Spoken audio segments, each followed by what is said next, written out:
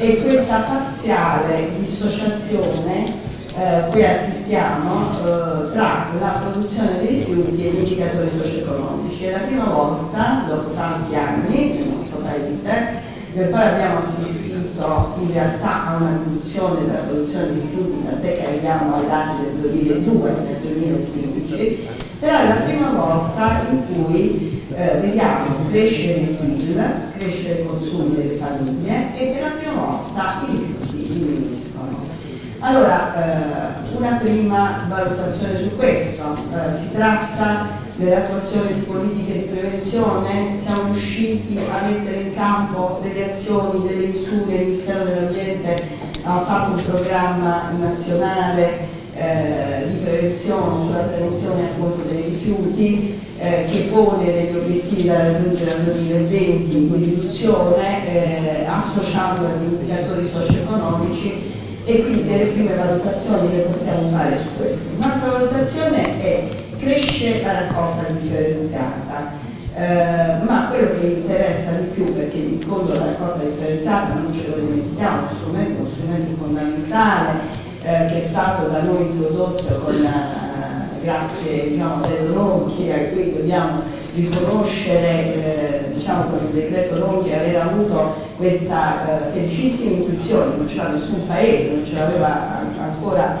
eh, di più eh, nel 97 fissamo quei famosi, fissò quei famosi obiettivi eh, di raccolta differenziata che poi man mano sono stati innalzati. Questi obiettivi in alcuni contesti territoriali sono stati raggiunti, in molti altri no, il gap è ancora evidente, ma quello che ci conforta è che quando andiamo a valutare l'obiettivo di riciclaggio, che è un obiettivo posto dalla direttiva 2008-98, beh, non siamo lontani, siamo al 46%, un 50% raggiungibilissimo a nostro avviso come ISPRA, eh, entro il 2020. Sapete che è stato approvato il 2 dicembre il pacchetto rifiuti che eh, pone eh, diciamo,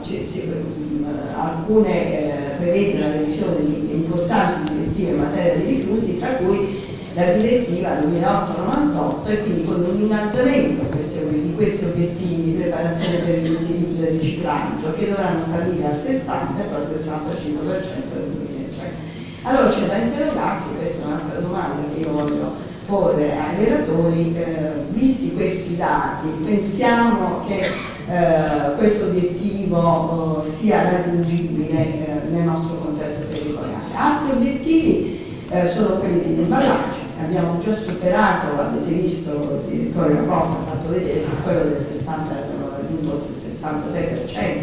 nel 2015 potremmo discutere poi per frazioni, c'è il discorso della plastica, non sicuramente credo non si potrà eh, sicuramente ehm, illuminarci l'immenso, ma ehm, dobbiamo, vediamo che è lì un dato positivo, cioè avremo raggiunto eh, già un obiettivo che sarebbe eh, posto eh, al 2025.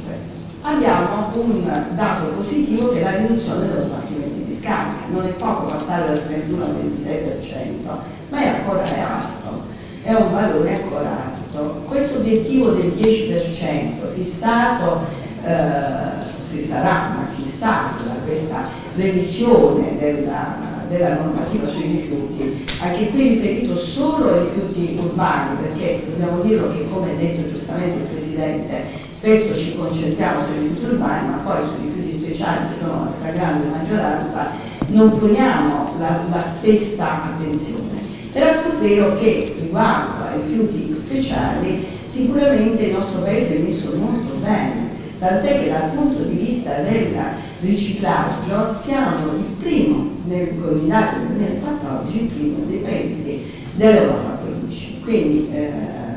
vuol dire che lì forse eh, degli strumenti efficaci, quale anche lo snellimento delle procedure amministrative, ricordiamoci le famigerate famose, come volete, procedure semplificate, hanno in qualche modo eh, facilitato appunto il riciclaggio e il no eh, smaltimento di discarica è veramente residuale. Ma per i rifiuti urbani abbiamo questo obiettivo di ridurlo al 10%, siamo al 27, abbiamo fatto grandi passi avanti, vorrei sentire ora dai relatori eh, che cosa ne pensano. E un'ultima cosa, Forse un, ehm, come è stato detto, noi facciamo uno studio molto approfondito sui costi che non si fa eh, quasi da nessun, cioè siamo i detentori di un'informazione che non hanno altri soggetti, da sempre approfondiamo il tema dei costi e approfondiamo anche l'analisi dei piani finanziari, è stato presentato il lavoro che facciamo anche sui piani finanziari, quindi vi inviterei a vederlo nella versione integrale e abbiamo fatto un focus per la prima volta sui 155 comuni a tariffa puntuale, dove non ci sentiamo, non abbiamo esposto delle valutazioni nei confronti, però eh, vi invitiamo a valutarli perché da una prima analisi ci sembrerebbe che questa eh, che questa applicazione appunto poi della tariffa puntuale porti come risvolto positivo una riduzione dei costi. Allora questi un po' sono gli elementi che io vorrei eh, porre ai, um, ai relatori per sentire appunto che cosa ne pensano, che cosa eh, pensano che l'Italia possa fare, quali strumenti, quali obiettivi ulteriori, quali norme eh, possono essere messe in atto. Da ultimo e termino, eh, nel collegato ambientale, perché ci piace anche fare un po' di pubblicità, Presidente, dei lavori che fa l'ISPRA insieme al sistema appunto, delle agenzie, nel collegato ambientale è stato richiesto a ISPRA di eh, elaborare i criteri eh, per individuare quali sono i rifiuti che non devono essere pretrattati prima di andare in discarica.